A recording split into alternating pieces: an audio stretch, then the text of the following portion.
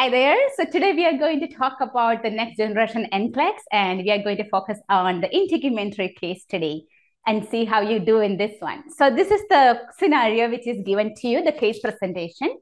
A 37-year-old female came to the clinic with concern over a mole on her face. The nurse started the assessment. The client appears healthy, has blonde hair and freckles over the face. The client is worried that might be cancer as she has family history of skin cancer. She also notices that she gets sunburned very easily as she's working outdoors most of the time as a tour guide.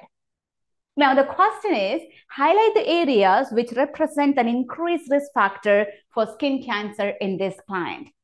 She's worried that it's a, it might be a skin cancer. So, what are the things you think, or from your information, your knowledge, what are the things you can see for this client that it's increased risk. Highlight those areas. Now, if you think about uh, what you have learned in the lessons about the skin cancer and the risk factor, I'm going to show you that.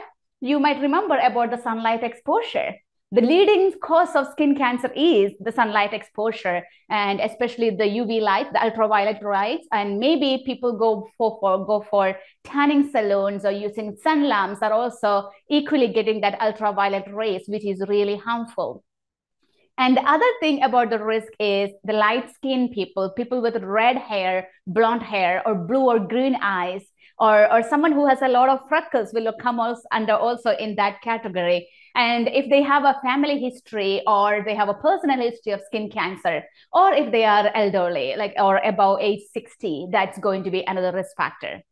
Adding to all that is another part which we can think about is the outdoor occupation.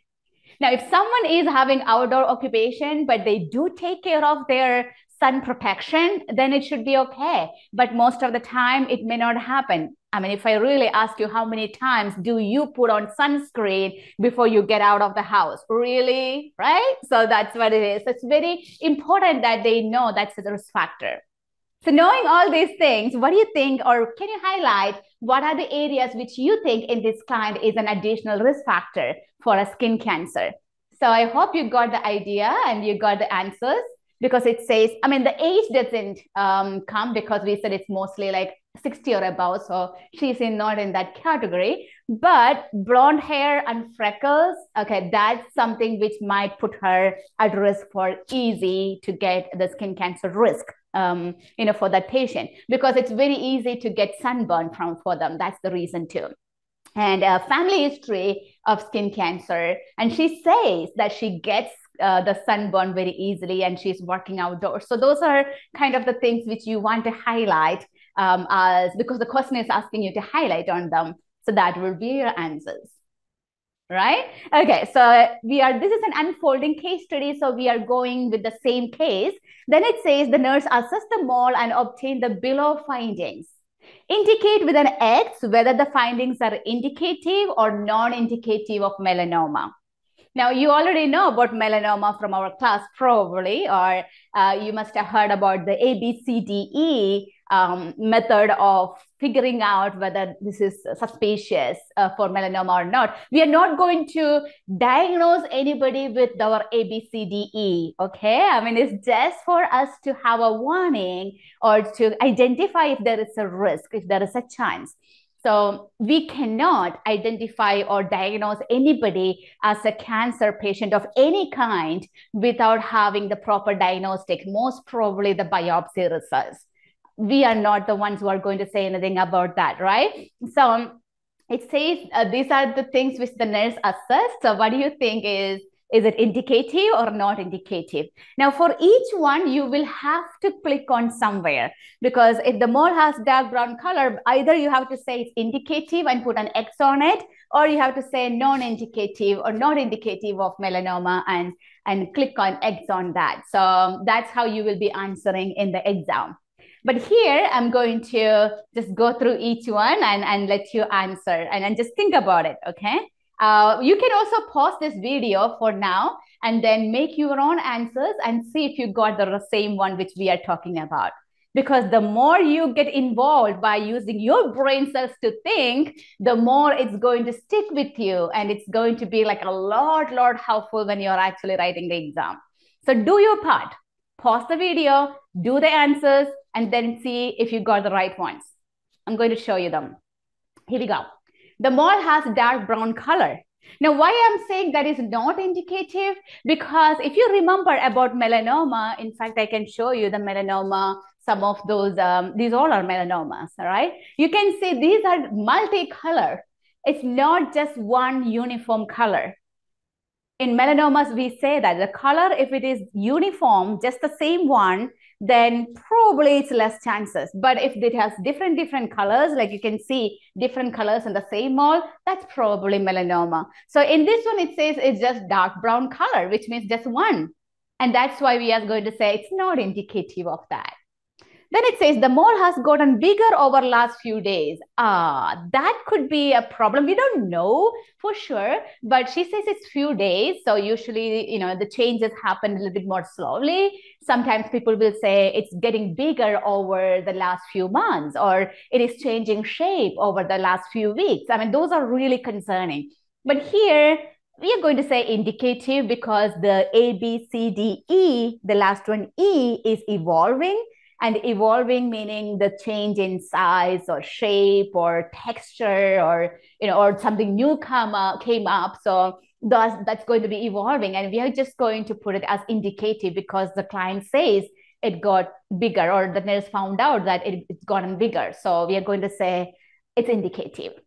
All right. And then the client says that it's itching around the mole now, that is not going to be indicative of that because we don't know if it was itching all the time or if it is now, or you know, there is not much change which happening there. It's just itchy. And just because something is itchy doesn't make it um, you know, a cancerous one. So we are going to say it's non-indicative. When something is itchy is probably because of dry skin, or maybe there is something allergic things going on, right? So that's that's why we are going to put it as non-indicative. Now the mole has defined a round shape. Mm. You saw all those melanomas. None of them has defined round shape.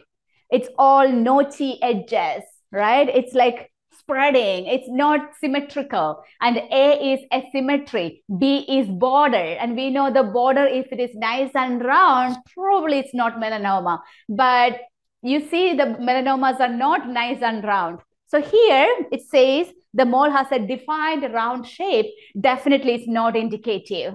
Because if it was melanoma, it would have been really notchy and, and ridges and stuff like that. And here, skin around the mole is dry and scaly. Again, it's like that. The, the itching, the skin around the mole is dry and scaly, doesn't make it melanoma, right? We don't have that in our ABCDE either. So that's why we are going to say non-indicative. The mole is the size of a small pea. Now, how, what is the size of a small pea? And that's why I have this slide here.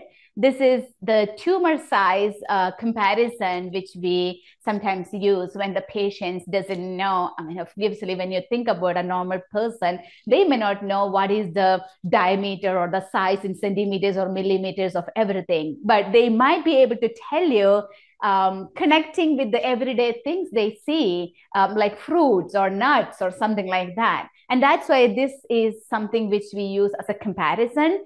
So this is the small piece, like one centimeter. Okay, and the, you, you can see like a grape is three centimeter, or if you look at the lemon, it's like five centimeter, or, or an egg is six centimeter, and and an orange is like ten centimeter that's kind of the comparison we can use when the patients say um, things like, you know, it, it is the size of a lemon or it's the size of a grape. You kind of have an idea. So here the patient is saying the mole is the, I mean, or the nurse is figuring it out and it says the small is small pea, which means it's about one centimeter. Now, in our ABCDE method, we said if the diameter is more than six millimeter, it's millimeter, it's not centimeter. So if it is diameter is more than six millimeter, we are worried. Now it's the it, says it's about one centimeter. So one centimeter is definitely you know more than six millimeter because um, according to the mathematical calculations, you can see one um, centimeter is equal to 10 millimeter. So definitely it's, it's more than six. So I'm kind of worried about the size of that more, right? So I'm going to say, yes, that's probably indicative.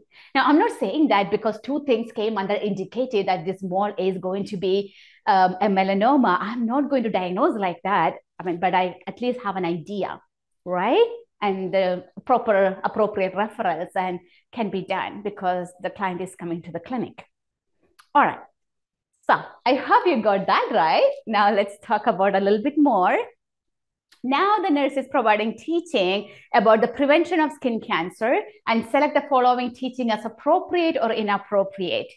Basically, this patient is, uh, we don't know what is the diagnosis, it doesn't say that, but the nurse definitely wants to teach about preventing skin cancer and what are the things which are okay to do or not okay to do, appropriate or inappropriate avoid the sun between 10 a.m. and 4 p.m. And then you will have to say yes or no, or like appropriate or not appropriate. You have to select them accordingly. So um, I will let you go through each option and figure out. And if you have to pause the video, do that. Use your brain. Got it? Okay. So this is the answer. Avoid the sun between 10 a.m. and 4 p.m. Definitely yes. Yes, because that's the base, that's the time most of the you know ultraviolet rays are available and it's, it's already like people are outside and the sun is giving a lot of rays and it is better if they can avoid. Now we are not saying that everybody should be like out inside you know with all the curtains drawn uh, during that time. It may not be possible especially for this person who is a tour guide might have to be outside and giving all the instructions to all the people who are coming to visit whatever place she is the tour guide uh, as, as working as a tour guide so, but she may have to do a lot of you know protection to prevent the suns. But if possible, avoid the sun between 10 a.m. and 4 p.m. And we say it's an appropriate thing because sunlight, sun exposure is the, is the main thing behind the skin cancer. Exposure to ultraviolet radiation from sun is major cause of skin cancer. Yes, that's something we would like them to know, like to teach, because that way they know the importance of avoiding the sun or making the proper sun protections. Uh, to minimize ultraviolet exposure to snowy or cloudy days for outdoor activities. That's a misunderstanding. Even if the cloudy days are there, even if clouds are there, even if it's um, snow, all the you know it, it's snowy, it doesn't it doesn't mean that the ultraviolet is blocked by the clouds. No, even snow can reflect ultraviolet rays. So you still have to be protective of your skin and put on that sunscreen and um, use you know hats or, or glasses or whatever you need to use for sun protection. So it's it's not going to be helpful just to minimize the activity. Now the next one apply sunscreen few times before starting outdoor activities the sunscreen the best time to apply is at least a little bit more before like 15 to 20 minutes before going out so that way the sunscreen will, um, or the lotion or whatever you're using will take time to make that protective film. So that way the ultraviolet rays can be, um, you know, they can block it um, as appropriately, right? So a few minutes may not be enough. 15, 20 minutes is actually a good time. That's why we are going to put it as inappropriate.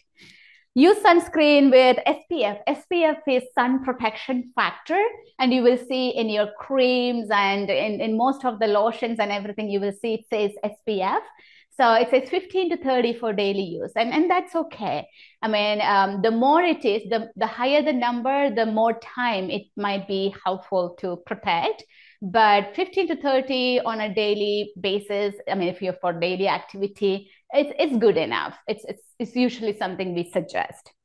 And then it says reapply sunscreen every two hours unless using a water or sweat resistant product. Now, whatever is the product, um, it says sweat resistant or water resistant.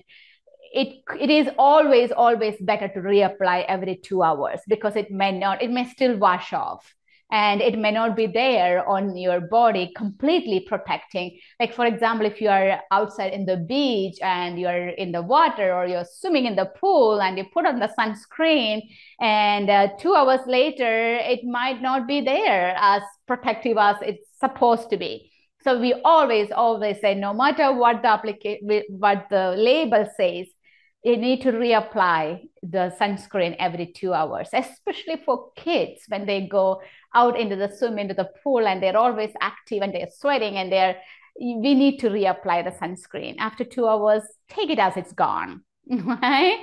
Okay, so that is very important to remember. And I hope you got some value from this video. And I hope that you got to apply some of this knowledge and take care and all the best with your exams.